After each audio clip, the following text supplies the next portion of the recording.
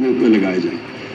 کہنے کا میرا یہ مقصد ہے کہ پاکستان میں جو آج تک صاحب اقتدار عوام کے ٹیکس کے پیسے پہ عیاشیاں کرتے رہے ہیں، یہ انشاءاللہ میرا آج آپ سے وعدہ ہے کہ یہ میں چینج کروں گا۔ اپنے سے شروع کروں گا، اپنے وزیروں سے شروع کروں گا۔ پارلیمنٹیرینز کو صحیح کریں گے سارے جتنے بھی ہمارے پارلیمنٹیرینز ہیں۔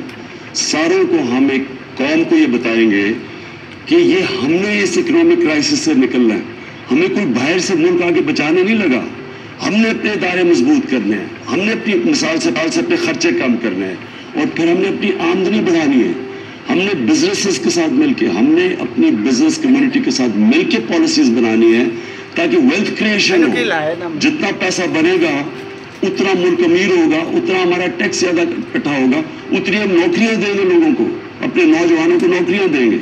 تو یہ آج پھر میرا یہ جو دوسرا پلیج یہ آپ سے ہے کہ انشاءاللہ ہم ٹیکس کلچر ٹھیک کریں گے ہم ٹیکس کلچر ایک ایسا بنائیں گے جو عام لوگوں کے لیے یہ پتہ چلے گا لوگ اس لیے ٹیکس دیں گے کہ ان کو پتہ چلے گا ان کا ٹیکس ان کے اوپر خرچ ہوتا ہے ان کا ٹیکس چوری نہیں ہوگا۔